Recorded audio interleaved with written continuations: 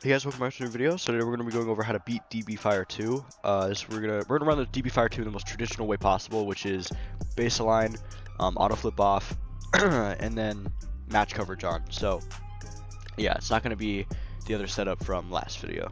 I got asked to run this, so um, I'm going to be doing this out of the Detroit Lions playbook on offense, and then the KC playbook on defense. You can also run this out of multiple D uh, if you want to run the actual defense, but um, I'm just showing you how to beat it, whatever. Alright, so the way you want to set DB Fire up uh, traditionally is you just want to press and then move the safeties in. And that's it. You just want to move them near the box.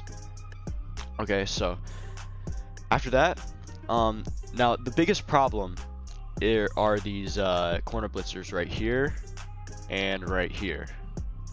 That is because the whole the whole point of this defense is to really get the blitz going first because the, uh, what's what's match coverage is going to help with is that it's going to cover the receivers for a certain amount of time.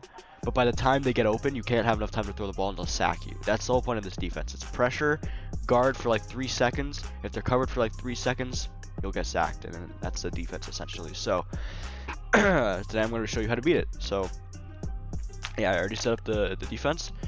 All you got to do is streak the tight end. This is out of PA slot cross, by the way.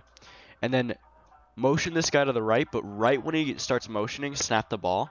So like this, like that. He'll block that corner, and you have a wide open receiver on that side of the field.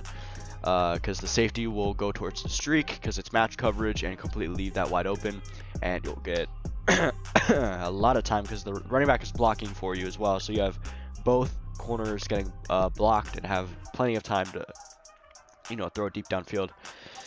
So, yeah, Alright, so now let's go over it in um, basically any other formation that has two wideouts uh, for the wide receivers. So, for example, like this one right here, it has two very far wide receivers.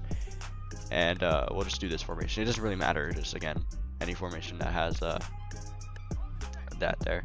Again, if you want to, you can also do this. Because this way, soft squat will take the R1 route the safety will take either the X or the B route, and then you just throw to either one where it doesn't take. You can see that it took the, it was biting towards that side, so you can just throw towards the tight end. And that's it, really. Um, so yeah, I'd, I'd use that setup traditionally. Uh, this one right here. Just run that. Oh, I just completely just pressed two buttons at once. That was my fault. I just completely misread that. Uh, sorry. Let me do that one more time. Like this and then just throw the extra in the middle of the field. It's that easy. Now, if they're going to user it, you still have other options. Uh, again, you can just go back into tight, because tight, again, is going to be probably the best way to beat this. you can also beat it like this in verticals. Um, I like to do this for my setup in verticals. if you do this, the tight end right here, okay, that was a very bad animation, uh, you can catch it right there. Now, depending what the soft squat goes to, Um, you can leave a streak there if you want to on uh, square. If you do this, you can also throw this B route, but the only problem is that that soft squat's going to be there. Um, so I'd target the tight end, if anyone. And uh, yeah, so that's how you beat DB Fire 2. It's pretty simple. Um, I, I think this is one of the most uh, easy ways to beat it. Uh, so again, let's go over it. I'm actually gonna block the or the running back here. And as you can see, that B route was, or the circle route was wide open. I mean, it was, I mean, it was about a, so like, I actually wasn't, I haven't been setting it up properly this whole time. So, hold on, let me, let's do that.